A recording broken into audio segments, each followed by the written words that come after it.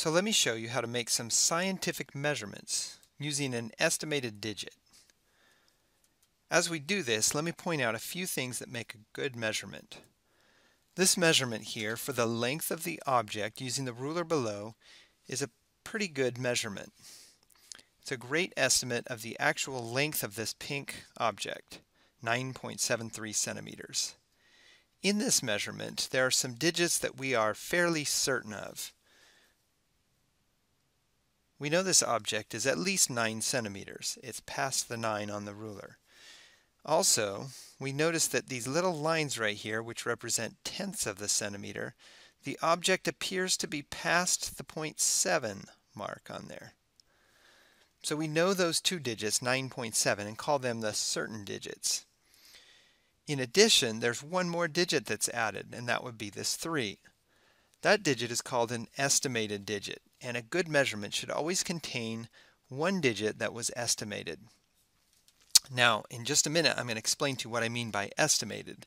And I want to point out, I don't mean that this is a digit that's just guessed or written out of thin air. Uh, but we estimate that digit, and I'll show you how in a minute.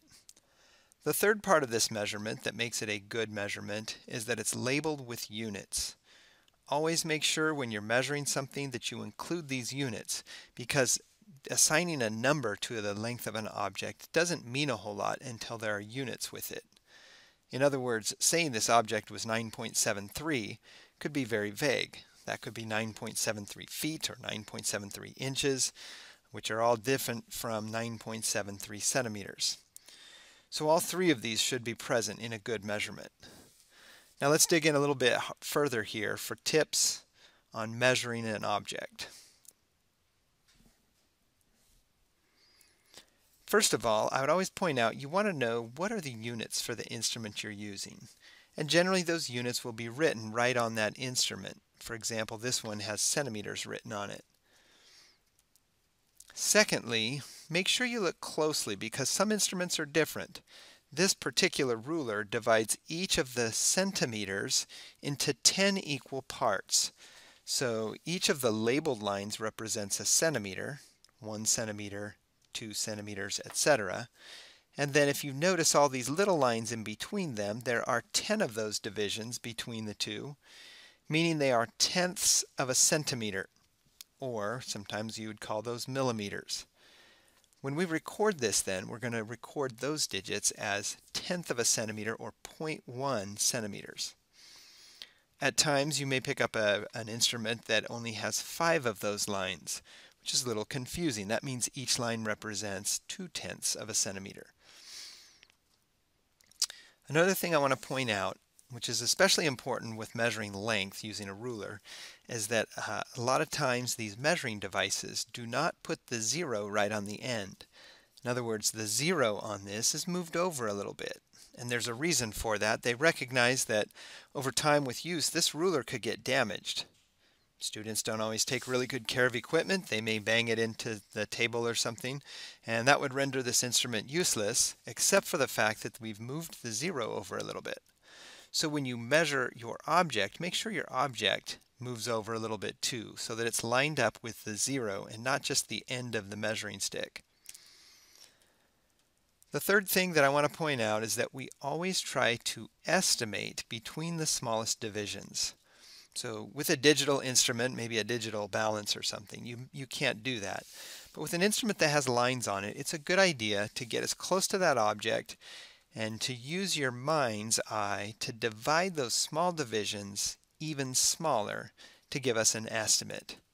What do I mean? Um, well, I'd like to teach my students when they look at this object, we already know that it's at least 5 centimeters. We can read that off the instrument. That's what we called a certain digit, 5. And we also know that these divisions, which are each 0.1, this object goes a little bit past the sixth one. So I know that these two digits, the 5 and the 0.6, some students write this down and they think that's good enough. Uh, this object's 5.6 centimeters. But if you look closely, if you zoom in on this, you notice that it doesn't line up exactly with the 5.6 line. In fact, this object is a little bit longer than 5.6. This is where we're going to use the idea of an estimated digit. What that means is I'm going to take this smallest division and using my mind's eye, I'm going to pretend like I could divide it into 10 small little lines here. And I'm going to try to estimate which of those 10 small lines it would line up with. Obviously, if it's halfway between the two, it would line up with the fifth line. But if it isn't quite halfway, and this one isn't, then I'm going to have to estimate which line would it line up with. Hence the estimated digit. So again, I'm not pulling this number out of a hat. I'm looking at how many of my little lines it would uh, line up with and guessing this probably is 5.63, maybe 5.64. Uh, and that's up to the person measuring how good their eyes are and what they're actually looking at and how well they lined it up. Um, sometimes these measurements will vary a little bit. Uh, but the point is we want to try to get as close to the actual length as possible. And we do that by estimating the last digit. Incidentally, this is also known as the uncertainty of this instrument. So um, generally, if we want to be even more specific, we would say this object is 5.63 plus or minus 0.01 centimeters. In other words, that last digit, it may be one unit higher or, or one unit lower, um, but it should be somewhere within that range. Let's try one more measurement. This one's a little bit different because we're talking about a graduated cylinder here. Recall that graduated cylinders are used to measure the volume of a fluid. And this instrument measures volumes in milliliters. So if you notice at the bottom of this object near the zero, you see an ml. And again, I would like to take my instrument and divide the smallest division into 10 equal parts when measuring this. I do recognize that this volume is going to be at least 1. And I do recognize that it's going to be 1 point, see, 1, 2, 3, 4, 5, 6, 7. It's going to be 1.7 something. Those are the digits that I would call the certain digits, the known digits. But then for that last digit, I'm going to take uh, a careful look and when you're looking at a graduated cylinder, you may notice that the water sticks to the side of the glass cylinder, creating uh, kind of a crescent shape, right? So when I look at that, I'm going to look at the lowest part of that, and I'm going to estimate between those two lines which line, if I could divide them into 10 divisions, which line do I think that it most closely matches? And that's what I'll write down for the volume of this fluid. I'm going to give you a minute to think about which line you would write down or which number you would write down as the final estimated digit, and then I'll put my answer up.